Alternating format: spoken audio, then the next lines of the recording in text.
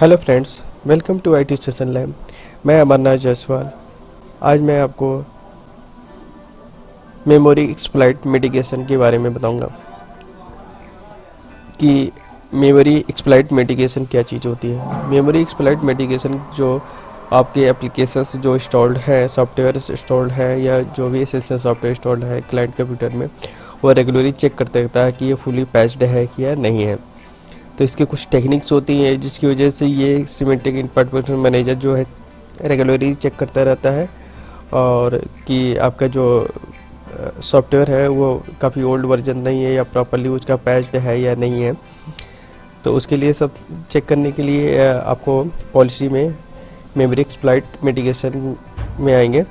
और यहाँ पे ये ऑलरेडी एक प्री डिफाइंड पॉलिसी बनी हुई है, इसको एडिट करेंगे। Edit policy, memory exploit mitigation में आ जाते हैं। यहाँ पे दिया हुआ है कि memory exploit mitigation stop attacks on community commonly use software that the vendor has not patched on Windows computer तो प्रॉपरली वो पैच्ड है नहीं अपडेटेड है कि नहीं है।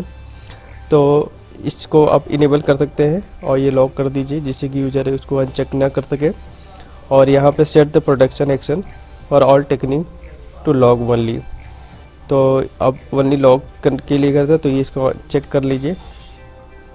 Some technique ignore any global override okay ठीक है, और यहाँ पे ये है, ये टेक्निक्स हैं मिटिगेशन टेक्निक है, जो कि आपकी जो इनके पास डिफिनेशंस होती हैं सभी एप्लीकेशन की ऑलमोस्ट जितने भी जनरल सॉफ्टवेयर होते हैं, उनकी पास डिफिनेशंस होती है।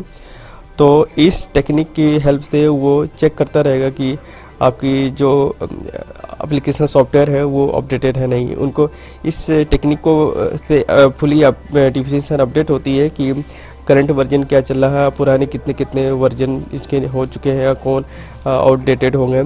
तो ये इनके पास सभी रिलीज़ होते हैं इन सब के पास।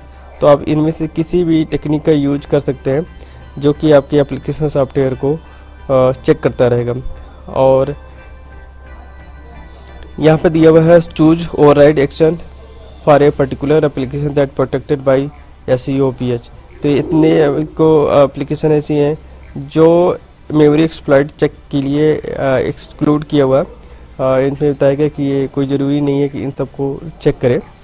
आप इनको लगा भी सकते हैं प्रोटेक्ट कर सकते हैं, लगा भी सकते हैं और नहीं भी कर सकते हैं। तो इस तरह आपका जो है मेमोरी एक्सप्लाइट मेडिकेशन काम करता है। ये बहुत यूजफुल होता है।